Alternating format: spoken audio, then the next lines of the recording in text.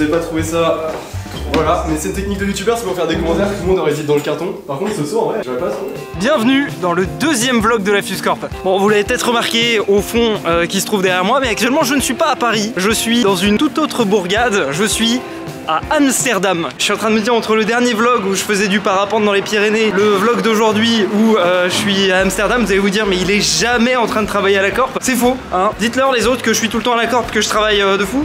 Il est souvent là. Oui.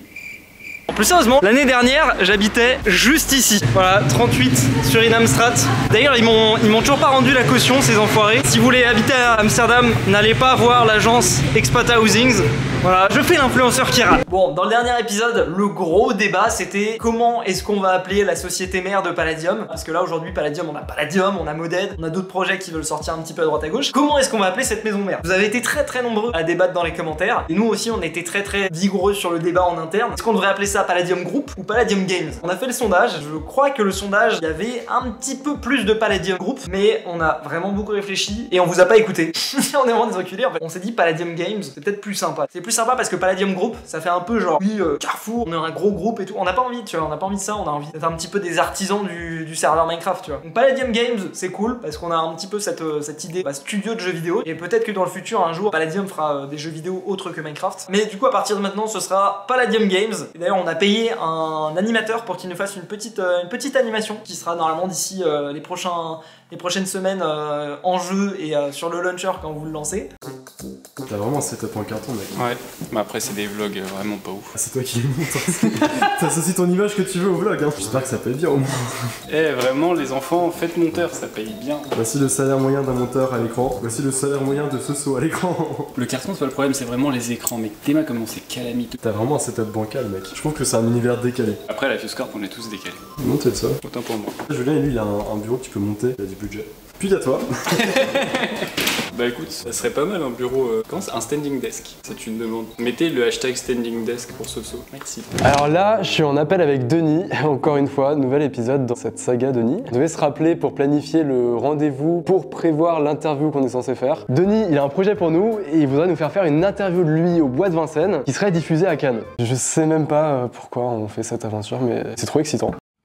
Bon, il y a quand même un gros problème à Amsterdam, c'est le logement. Ils ont pas assez de logements pour tout le monde. C'est le cas à peu près dans toutes les grandes villes. Si vous avez déjà essayé de choper un appart à Paris, vous êtes au courant, n'est-ce pas, Ewen mais voilà, c'est un problème qu'il y a dans toutes les grandes villes. Et du coup, pour euh, régler ce problème, euh, Amsterdam, ce qu'ils ont fait, c'est qu'ils ont interdit aux propriétaires de louer leur appartement plus de 30 jours par an en Airbnb. Ce qui en soi est quand même une très bonne initiative. Ça réduit le nombre de Airbnb dans la ville, mais ça augmente le nombre de logements disponibles pour euh, des gens qui, veulent y habiter. Ça c'est vraiment cool, mais du coup le problème avec ça c'est que si tu veux venir sur des périodes un petit peu longues, bah t'es un peu baisé en fait. Nous ce qu'on a fait c'est qu'on a trouvé des Français qui habitent à Amsterdam, du coup qu'on leur appart à Amsterdam, et là ils partaient en vacances pendant deux semaines, et du coup bah on leur loue l'appartement. Et en échange aussi, on doit garder lui. Ouais il a faim. Il fait que manger, il fait que manger, tu veux trop manger. Bon, je vais vous montrer mon setup, c'est un petit peu en bordel, et là il y a une spécificité, c'est que y a pas la fibre. Comment je fais moi Bon, du coup, ça m'oblige de m'organiser un petit peu et d'envoyer les rushs bien en amont. Donc, euh, en vrai, euh, bah, j'arrive à super bien bosser. hein. Le fait de travailler sans être à la corde, c'est à la fois facile et à la fois difficile. Depuis qu'on avait les nouveaux bureaux et qu'on a vraiment recruté pas mal de gens ces derniers mois, parce que mine de rien, on est passé de 3-4 personnes au bureau à là quasiment 8 ou 9, quoi, c'est gigantesque. En fait, je me suis rendu compte que moi, ça me distrayait énormément. En fait, J'a- j'arrive pas à travailler efficacement quand il y a beaucoup de gens au bureau. Et là, le fait d'être loin et d'être juste concentré devant mon ordinateur, je suis 10 fois plus efficace. C'est un truc de malade. Mais par contre, c'est vrai qu'au niveau de la communication, je me rends compte que je communique beaucoup moins avec les autres. Bah, je pense à autre chose, je mets le message en non lu et puis je l'oublie pendant deux jours et je réponds deux jours après. Ça, c'est un truc sur lequel il faut que je bosse. Là, de toute façon, je reviens à Paris, euh, je reviens à Paris bientôt, donc euh, c'est pas trop un problème. Mais euh, dans le futur, si je veux repartir euh, deux semaines par ici, deux semaines par là, c'est mieux de bien communiquer. La Fuse Corp, c'est des événements euh, dans les bureaux et c'est aussi des événements en dehors des bureaux. Là, on va faire notre premier after work. C'est beau, dit comme ça. Ça fait vraiment Startup euh, Nation. Allez, des enfants, on y va. On va manger. Il part faire quoi, lui? Lui, il a pas compris que c'était en dehors des bureaux qu'on allait. Je viens inviter des heures de montage à Soso. Soso, c'est ce mec-là, c'est lui qui monte les vlogs. On vous met à, mec-là. à l'écran, on met le Discord de Soso si vous avez des réclamations à faire. À tout moment, c'est moi qui monte, je fais ce que je veux. Si ça y est pas, ça y est. Non, non, non, on vous met ici son mail. Sortir les poubelles en même temps. Ah ouais, ouais, on peut pas sortir les poubelles. Non, on fera pas. Ah, De toute façon, moi je rentre pas après, donc c'est pas Ah ouais, donc en fait, je me fais. Ouais. Elles attendront lundi, hein. Le but c'était quoi? C'était de me filmer ou me mettre la cam dans l'œil Parce que. Les On deux. va peut-être micro dans la bouche après. Tant, que c'est dans la bouche. En vrai, le c'est ça. Il a l'habitude. Les réclamations de ce soir au fuse3.fr, n'hésitez pas, c'est le mail qui s'affiche à l'écran pour toute réclamation. Et on mettra des notifications sur, Ouais. ton, sur ton- euh, son téléphone en Pour, direct. toute- pour toute nouvelle idée, ouais, je suis chaud. Pendant ce temps-là, Amsterdam.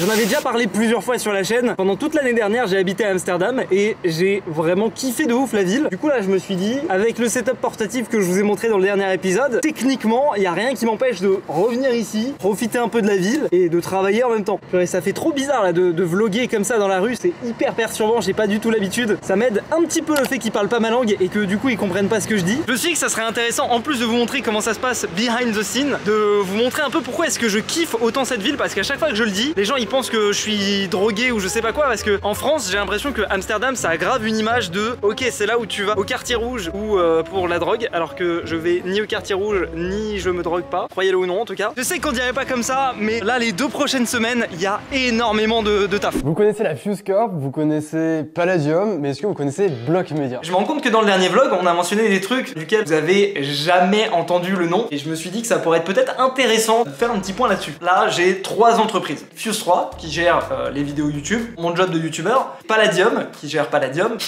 j'ai une troisième entreprise qu'on a lancée avec Nicolas et Hugo en janvier qui est Block Media. En fait, Block Media, c'est quoi? Ça vient d'un constat que là aujourd'hui, les youtubeurs Minecraft, en tout cas moi c'est l'impression que j'avais en tant que youtubeur Minecraft, on n'a jamais vraiment trop été pris au sérieux par les agences qui gèrent les OP des youtubeurs. En fait, dans le monde de YouTube, les marques généralement vont pas directement contacter les youtubeurs pour faire des OP, ils passent d'abord par un intermédiaire qui sont les agences. Dans les grosses agences, il y a par exemple euh, Spoutnik qui appartient je crois à Mixem, Bump qui appartient euh, partiellement à Squeezie, Webedia dont vous avez probablement déjà entendu parler. Il y a tout, cet écosystème d'agences et nous les youtubeurs Minecraft, jusqu'ici, on était un petit peu laissés à l'abandon et on avait un petit peu les miettes quoi, le reste de ce que les grosses agences euh, ne prenaient pas ou parfois vraiment quand il y avait des très très grosses campagnes qui, ratissaient extrêmement large, eh ben, on se retrouvait dedans. Mais voilà, on était pas mal mis de côté. Moi je vais pas mentir, jusqu'à présent c'était un peu osef quoi, je prenais des OP quand on me les proposait. Là depuis un ou deux ans ça commence à devenir un petit peu compliqué parce que à force de recruter, à force d'investir un petit peu plus dans les vidéos, ça commence à devenir un peu nécessaire d'avoir euh, d'autres rentrées d'argent et surtout les OP en fait le truc c'est que des fois c'est des grosses rentrées d'argent et après pendant de nombreux mois il y a plus rien. Donc il faut trouver un juste équilibre et euh, même en termes de qualité des OP, c'est toujours plus cool de bosser avec des plus grosses marques, des trucs un petit peu plus reconnus, un petit peu plus quali. Et bah ça euh, jusqu'à présent, en tout cas pour moi, je vais pas parler pour les autres youtubeurs Minecraft, c'était pas quelque chose qui était vraiment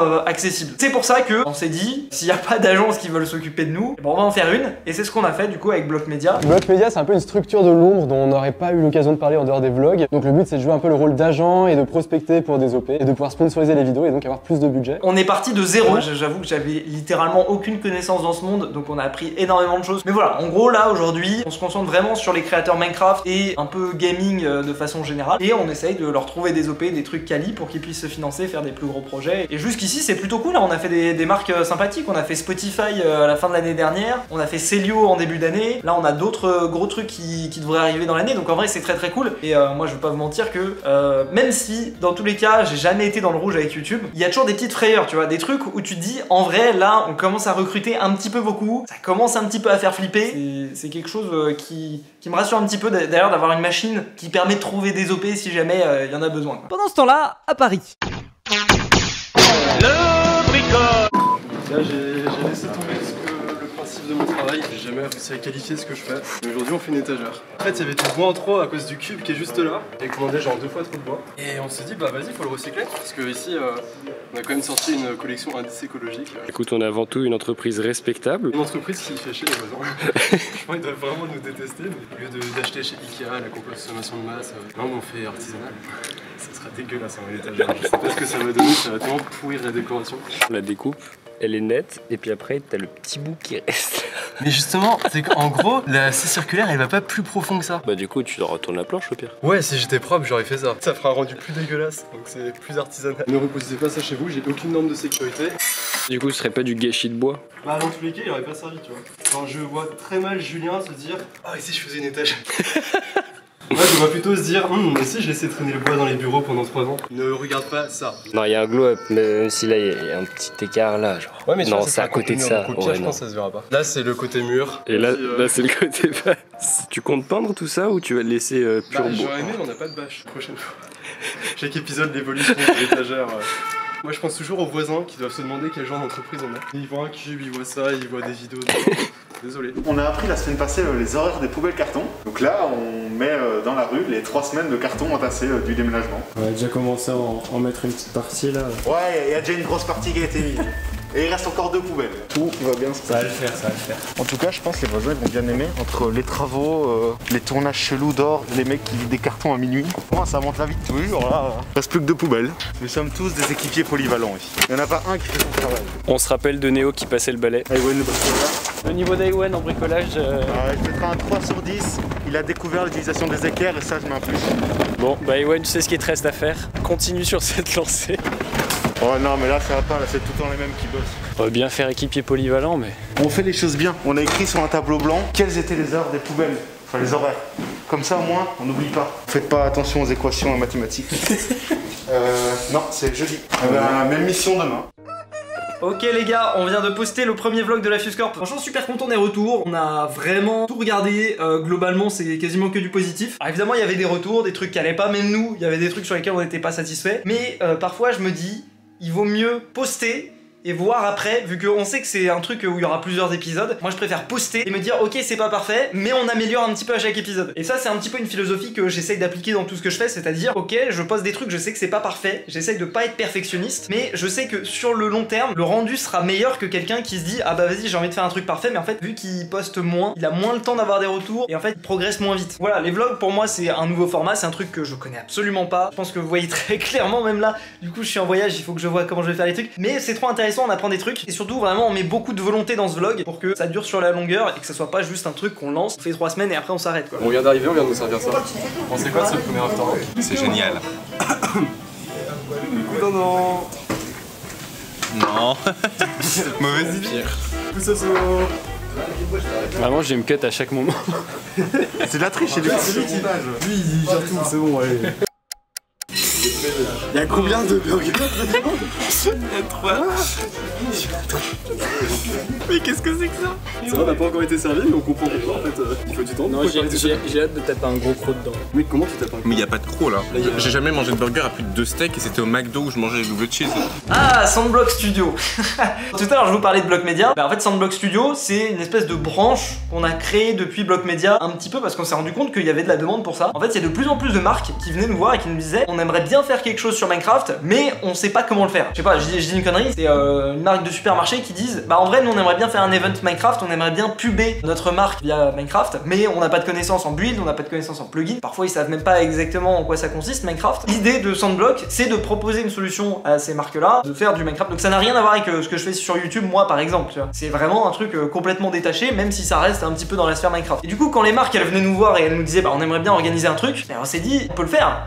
Moi, je fais des vidéos depuis 10 sur Minecraft. On a des teams de build, on a des développeurs, on a des trucs. Même avec Palladium, on a énormément de, ressources. Et quand je dis ressources, c'est pas euh, financière quoi. C'est des gens qui savent ce qu'ils font, des gens qui connaissent bien Minecraft, qui connaissent bien le développement, qui ont des bonnes idées. Simplement, ce qu'on fait, c'est qu'on fait des contenus cool pour les marques, qui peuvent être cool aussi pour les joueurs qui viennent euh, bah, jouer sur ce, sur ce genre de serveur. Et en parallèle, vu qu'on monte des équipes pour gérer les marques et que forcément des contrats avec les marques, on n'en a pas systématiquement, ça nous a permis de débloquer quelque chose que je voulais faire depuis, euh, j'ai pas envie de dire depuis extrêmement longtemps, parce que vous allez comprendre pourquoi, mais c'est le marketplace de Minecraft. J'ai déjà fait plein de vidéos là-dessus, mais en gros, sur la version Bedrock de Minecraft, il y a la possibilité de vendre des maps, de vendre du contenu directement sur la version Bedrock de Minecraft. Et historiquement, moi j'ai toujours été très très critique de cette fonctionnalité parce que pour moi, Minecraft c'est censé rester ouvert, c'est censé bah, pouvoir euh, accéder à plein de contenu gratuitement, etc., le partager. Du coup, j'aimais vraiment pas ce truc-là et je voulais m'en tenir le plus loin possible. J'ai fait plein de vidéos où je taclais des maps euh, éclatées du marketplace, mais force est de constater que ces dernières années, le contenu qui a été produit sur le marketplace est assez impressionnant. Et notamment, je pense à la dernière vidéo que j'ai dessus, le DLC Batman, le DLC Bob l'éponge, c'était des trucs qui étaient vraiment super bien travaillés et qui, selon moi, valaient leur prix. Et quand j'ai vu ça, je me suis dit, en vrai, il y a un potentiel gigantesque. Et après, on va pas se mentir aussi, c'est une opportunité énorme quand tu fais du Minecraft parce que je crois que le marketplace, l'année dernière, ils ont dû reverser quelque chose comme 500 millions aux créateurs de, de maps là-bas. Donc forcément, ce serait mentir de dire qu'il n'y a pas un intérêt business aussi là-dedans. Mais en gros, notre vocation, c'est d'avoir nos équipes qui gèrent les projets de marque en premier.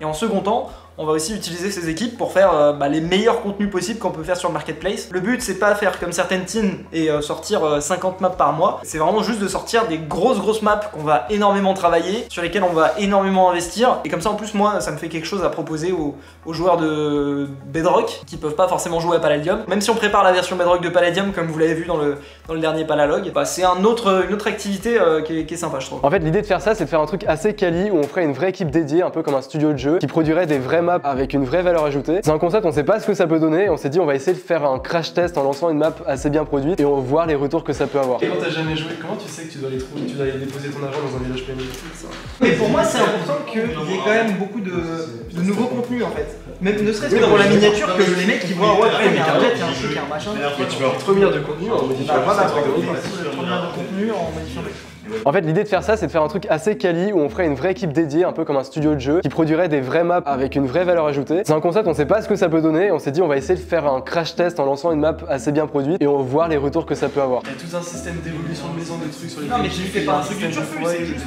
t'as les maisons, tu peux les avec deux fois et. La première map qu'on avait envie de faire avec Julien, c'était un concept de vidéo qui marchait énormément à l'époque. et Ça faisait des millions de vues. C'était le cheat code à l'époque. C'était les vidéos de difficulté Minecraft. J'ai l'impression que ça se fait pas déjà sur Marketplace. Coup, euh, voilà, on est novateur, euh, original. Et on a réfléchi à une nouvelle difficulté qu'on pourrait faire et que les gens pourraient jouer. Ça serait la difficulté millionnaire. Difficulté millionnaire, du coup, on peut imaginer qu'on rajouterait des, des mobs custom, des. Je sais pas, tu peux apprivoiser un majordome qui va t'aider à la place du chien. Tu peux upgrade des manoirs euh, dans les villages PNJ pour avoir ton propre manoir. Enfin, vraiment des trucs où bling bling hyper surdimensionnés. Et c'est du coup le premier projet qu'on brainstorm à fond et qu'on a envie de lancer. Mec, Qu'est-ce qu'il y a, Néo? est-ce qu'on prend des stagiaires de troisième? Non, on n'en prend pas Alors nous à la Fuse Corp, on est tout le temps en recherche de nouveaux profils, que ce soit sur YouTube pour trouver des monteurs, des chargés de prod, sur Palladium, sur Sandbox Studio pour des game designers, des builders, des développeurs, ou même Block Media sur la partie influence, on cherche des stagiaires, des alternants. Donc il a fallu réfléchir à une plateforme qui permet de centraliser un peu toutes nos recherches. Et donc là j'étais en train de développer une plateforme, bon assez simple, c'est juste une page, mais qui va regrouper toutes nos offres d'emploi et qui permet en un clic de pouvoir postuler. Et derrière nous ça arrive directement dans nos boîtes mail et on peut trier les candidatures et contacter les personnes qui nous intéressent. On va mettre le lien dans la, dans la description de chaque vlog et l'idée c'est qu'à chaque vlog on puisse présenter un peu les différents postes qu'on recherche parce qu'on recrute constamment. Si vous pensez que vous avez des compétences qui peuvent être utiles dans l'une des structures, n'hésitez pas à checker tous les postes euh, disponibles, sachant que toutes les semaines on met à jour et toutes les semaines on regarde les candidatures qu'on reçoit. Ça sert à rien de mettre des commentaires, ouais, est-ce que vous prenez des stagiaires, etc.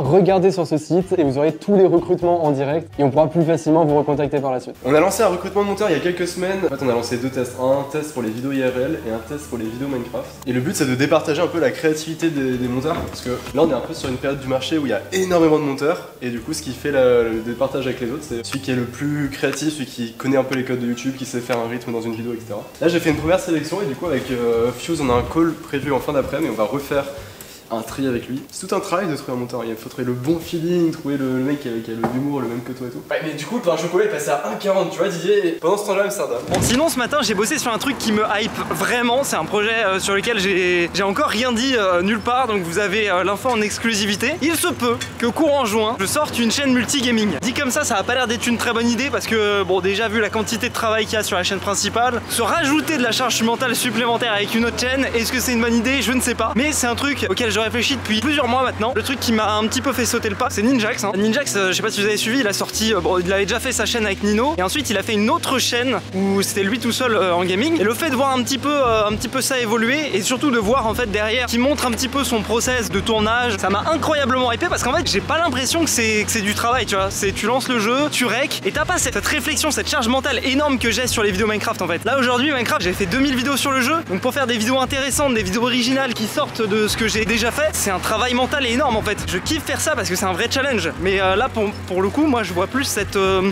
nouvelle chaîne gaming un petit peu comme un truc euh, comme un truc un peu plus spontané, comme un truc un petit peu plus où je m'amuse de A à Z. J'essaye de faire l'effort maintenant, de pas faire les trucs à moitié, de vraiment finir les choses. Et c'est pour ça que avant de lancer la chaîne gaming, j'ai envie d'avoir au moins 10 vidéos qui sont prêtes, qui sont tournées, qui sont montées avec les miniatures de prêtes. Ça permet un petit peu de lancer la chaîne et de pas être en mode ah la première vidéo elle a pas aussi bien marché que ce que j'avais anticipé. Et c'est pareil pour ce vlog en fait. Quand on y pense là pour l'instant au moment où je tourne ça, on a juste eu un seul vlog qui est sorti. Moi ma volonté là c'est que le vlog on teste au moins pendant un an, voir ce que ça donne. C'est un projet que je voulais faire aussi depuis tellement longtemps ce vlog. Je sais que c'est un truc que je veux faire, je sais que c'est un truc que les gens parce que les, retours étaient cool. Maintenant, il faut juste pas abandonner parce que c'est quand même pas mal de travail, c'est quand même pas mal d'organisation, de prise de tête, de charge mentale. C'est aussi un, moyen de se défouler, un moyen de discuter avec vous, un moyen d'avoir des retours, peut-être une zone un peu plus sérieuse sur laquelle parler, un truc qui me manque euh, sur la chaîne principale. Je suis trop content que ça, ça soit lancé et j'ai juste peur de me lancer dans trop de projets en parallèle. Mais pour l'instant, ça va. Pour l'instant, ça va. On recrute les bonnes personnes. D'ailleurs, en parlant de recrutement, là, on est toujours en recherche de monteurs, de chargés de prod. Enfin voilà, il y, y a un lien dans la description, jobs.fuse3.fr, où il y a tous les postes, tous les gens qu'on recherche. On est constamment en recherche de gens. Donc si, si jamais vous êtes talentueux, si jamais vous êtes déterminé à bosser, on a probablement quelque chose pour vous. Pour les gens qui postulent pour Palladium du moins, si vous n'avez pas de réponse, en réalité c'est souvent qu'on n'a pas retenu la candidature ou juste patienter aussi parce que parfois on a des personnes qui postulent le lundi et le mardi il leur faut la réponse. Ça fonctionne pas comme ça. On n'a pas quelqu'un qui est H24 sur les candides. En soi, euh, si vous n'avez pas de réponse, c'est que vous n'êtes pas retenu. Dans tous les cas, euh, sur jobs.palladium.fr, vous avez normalement tous les postes qui sont encore disponibles. En gros, nous, un truc qu'on va faire, c'est des posters sur le Fio Shop. Et du coup, genre, limite, tu vois, des posters en format A3 euh, avec des références sur les vidéos RL. Et du coup, tu vois, j'avais dessiné ça. En gros, t'as toutes les références. T'as la vidéo parachute, Didier Espace, le bateau. T'as tous les trucs en fait. T'as potion, t'as tout. T'as même urgence doigt. Ça, c'était quand je m'étais coupé mon doigt. Le truc, c'est qu'en faisant ça, Aywen s'est littéralement déchiqueté le doigt. Petite cicatrice, hein. Je suis en train de contacter un mec qui est illustrateur, qui a fait pas mal de beaux projets. En gros, c'est un mec qui a fait ça, qui bosse là-dedans. Donc, c'est un style qui est très sympa. Il fait, bah, c'est un style un peu IRL. Ça pourrait coller avec euh, le concept de faire des vidéos IRL. J'étais en train de montrer mon poster au mec, et du coup, c'est très drôle quand même de revoir des petits gifs comme ça. euh. Tu sais, tu dis au mec, vas-y, il faut que ça soit moi qui mette un gâteau dans la tête de Julien et t'envoies les gifs. le mec, je lui ai parlé depuis 4 messages, je lui envoie ça, donc c'est assez drôle. Mais il a l'air cool, hein. Il m'a dit, il y a une deadline. donc bon, peut-être bientôt sur le Fuse Shop. Ah mais que vois-je, ça serait pas une nouvelle offre d'emploi? On recherche un chargé de production. En fait cette année on essaye de développer à fond les formats des vidéos IRL et on aurait besoin de quelqu'un pour nous aider à la pré-production. C'est un peu le taf que j'ai fait ces dernières années avec euh, Julien, c'est un travail qui est hyper polyvalent, genre je te prends des coups d'extincteur. Non c'est pas le truc qu'il faut dire pour mettre en avant le travail. En fait l'idée c'est d'avoir quelqu'un qui va aider à préparer les tournages, à acheter les trucs, à nous aider à brainstormer les concepts de vidéos, réfléchir à des happenings marrants, etc. Pour le coup c'est un métier hyper créatif, hyper manuel, hyper dans l'humain, donc euh, si ça peut vous intéresser, n'hésitez pas. Alors on va répondre à la question du dernier épisode sur l'argent contenu dans le cochon. On a fait une enquête, apparemment ça serait Pimpin qui aurait mis l'argent trouvé lors du déménagement des derniers bureaux à l'intérieur de ce cochon. Alors on est sur 5, 6, 7, 8, 9, 9 euros, 11 euros, 13 euros, 14 euros, 14 euros et on va être précis parce que nous on est précis, 14 euros 13. On est sur un montant de 14 euros 13 dans le cochon. Dites-nous ce qu'on peut faire avec ces 14 euros, on Et on va chercher le commentaire de celui qui était le plus proche et on va le contacter en, en MP. Le problème qu'on a c'est qu'on a besoin de vis et on a besoin de recycler ce truc. C'est que l'heure du dimanche, mais vraiment du dimanche, je crois. Ok, alors là je suis en train de travailler sur la première miniature de la chaîne multigaming. Je voulais tester un petit peu avec le style cartoon. Je sais pas du tout ce que vous allez en penser. J'ai aussi fait une version nuit, peut-être que ça rendra mieux. Là je suis vraiment hypé de ouf par ce projet de chaîne secondaire actuellement. D'ailleurs si vous voulez aller jeter un petit coup d'œil, le lien est dans la description. Première vidéo sort mercredi normalement. Bon, c'est quoi la problématique avec les chiottes avec l'or Vraiment au shot. J'arrive, je lève la cuvette pour pisser, il y a une goutte de merde. Ça fait, ça faire une semaine, il y a une goutte de merde sur la Je veux pas la nettoyer, j'en ai marre, je sais pas qui a fait ça. Tu pisses, à la limite, là, tu nettoies. Non, là, de la merde, je suis désolé, faut qu'on retrouve qui a fait ça. Nouveau règlement, celui qui sort des shots est responsable de l'état des shots. C'est-à-dire que si les shots sont... Au moment où tu rentres dans les shots, si les shots sont pourris, tu vas voir le dernier qui en est sorti. C'est la règle maintenant. Mettre un cahier, voilà. On fait un livre de tes shots. Aujourd'hui, j'ai posé une pêche. Allez, Entre un peu ton assiette, Nicolas, histoire d'être sûr. Non, bah du coup... euh, non, attends. Ah oui, putain, dedans. on- Ah, attends, baisse un peu. Bon, ce soir, on vient de recevoir un truc. Est-ce que t'arrives à deviner ce que c'est? C'est pas hyper compliqué. En vrai, tu peux trouver. C'est le switch de mec. Exactement, c'est notre partenaire du jour. Waouh, c'est la classe en vrai. C'est hyper stylé. T'as le droit de donner le prix ou pas? Je me rappelle plus du prix. donc. C'est ce qu'il la question? On le fixe où? Là je pense qu'on le mur là. À gauche ou à droite? Peut-être à droite. Ouais. C'est sûr Bah toi tu, tu mettrais où toi? Je sais pas. On fait un vote. Guillaume, droite ou gauche? On y recule. Aucune idée. Ça n'a rien changé. Genre de gauche en vrai, non?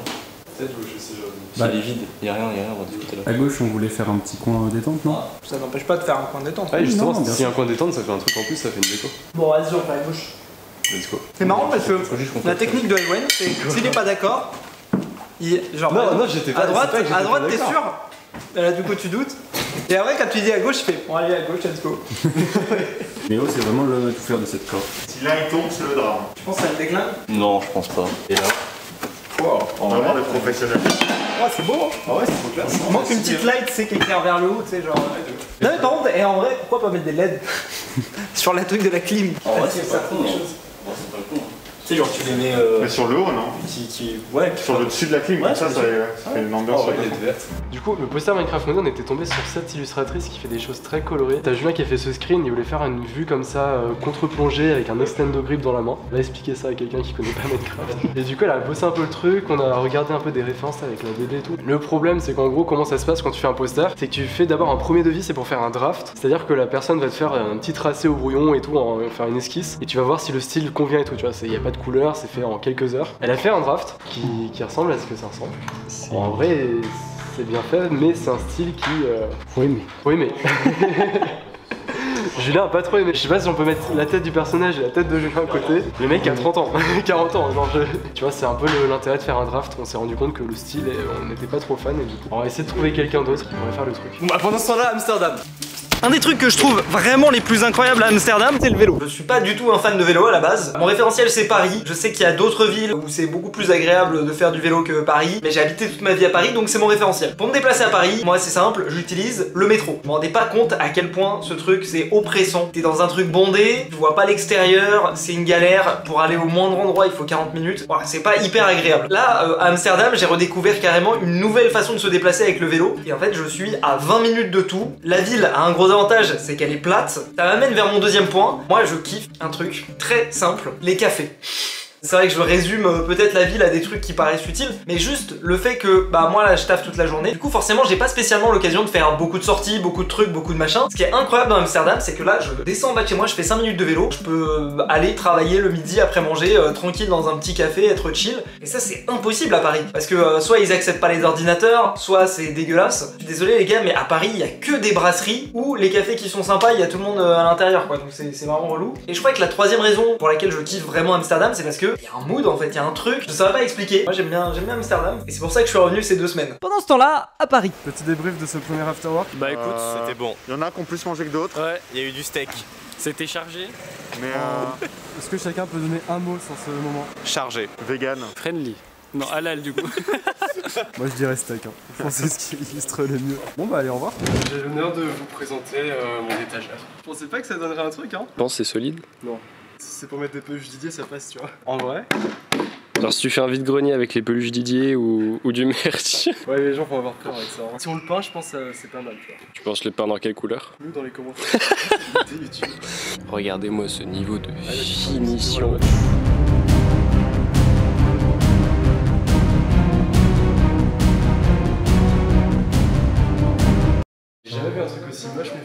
Vous présente euh, notre nouvel espace de chargement de batterie. On se rend pas compte, mais quand on fait des tournages, on a des matos dans tous les sens, que ce soit GoPro, les micros, les batteries, les trucs. Là, il y a même pas tout en fait, c'est pour vous dire. Je suis parti du constat qu'il fallait qu'on range les choses, qu'on avait du bois en tout. Ouais, c'est moche. hein. Cool. Si j'ai le courage, j'essaierai de le peindre dans une nouvelle vidéo. En attendant, ouais, c'est pratique. On teste des personnages pour faire les, les petits fuse qui seront partout et qui représentent des références des vidéos RL. Du coup, on a soit le petit chibi, soit un cartoon un peu plus réaliste, soit un cartoon un peu plus cartoon. Du coup, on a fait un vote avec les gens qui bossent avec nous. Et c'est le 1 qui gagne de large. Ah oui, le 1 largement. Ah oui, non, mais là, il y a pas photo. Ah, vu que c'est vidéo RL, le fait que c'est plus réaliste, c'est plus cohérent. Ouais, bah écoute, euh, bon, on va partir sur le 1. Ouais. C'est vrai que ces derniers temps, le Fuse Shop, on l'a un petit peu délaissé. Que, euh, on a eu des petits problèmes avec les peluches Didier, qui est un peu le truc de base du Fuse Shop. Et parce que, mine de rien, il y a quand même énormément de travail à droite à gauche. Il faut choisir ce sur quoi on doit travailler. Mais il y a un truc que je veux faire depuis au moins un an, c'est des posters. Je trouve ça vraiment trop stylé, même juste pour la décoration du bureau. Le fait d'avoir des posters qui rappellent un peu l'univers et qui rappellent ce qu'on a fait sur la chaîne, je trouve ça trop stylé. Moi, à chaque fois que je suis allé en convention, euh, dans toute ma vie, tous les autres youtubeurs avaient des posters et moi j'étais là. Bah les gars, moi j'ai, moi j'ai rien. Et en vrai, c'est plus un kiff qu'autre chose. Sauf que le truc, c'est que moi, je connais aucun illustrateur. Donc, ce qu'on a fait, c'est qu'on a passé une petite annonce pour voir s'il y avait des illustrateurs qui étaient capables de, nous aider. On veut faire trois posters. Donc, euh, un poster pour rappeler les vidéos IRL, un poster pour les épisodes de Palladium et un poster pour Minecraft Modé. Euh, Je trouve que c'est les trois éléments qui marquent le plus sur la chaîne. Et comme ça, ça permet aux abonnés qui préfèrent peut-être plus euh, les vidéos IRL bah, de partir plus sur un poster qui va rappeler ces refs là, plus sur Palladium qui va rappeler ces refs là, etc., etc. On a reçu des premiers retours. J'avoue que j'étais pas hyper fan. Quoi? Ah oui, euh, oui, que j'avais une tête de clochard. Bon, on a eu des premiers retours sur le poster que je voulais faire sur Minecraft Modé. C'est un fuse au sommet de la Fuse Corp avec un extendo grip qui regarde la caméra et toute la Fuse City en dessous. Bah, les premiers retours qu'on a eu, j'avoue, j'étais pas giga fan. J'avoue, je me suis senti un petit peu blessé du, de la représentation qu'on s'est faite de moi. Voilà, bon, je sais, dans les commentaires, je vous connais, vous allez me dire, mais si, c'est exactement toi, Fuse, parce que vous êtes un peu, euh, un peu des. Franchement, le, dessin était très beau, hein, c'est pas la faute de l'illustratrice. Du coup, on a essayé de trouver d'autres illustrateurs et euh, peut-être qu'on va avoir euh, chaussures à notre pied euh, dans les jours qui viennent. En tout cas, très cool. Je suis curieux de savoir ce que vous pensez des, euh, des posters. En vrai, ça peut être intéressant pour voir ne serait-ce combien est-ce qu'on va en imprimer, voir un petit peu l'engouement. Est-ce que ça vous intéresse? Est-ce que vous en foutez? Je suis curieux. Voilà, c'est comme ça que se clôt le second épisode des vlogs de la Fuscorp. J'espère qu'ils vous ont plu et euh, je vous dis euh, à bientôt. C'était vraiment un accent italien catastrophique. Hein. A plus.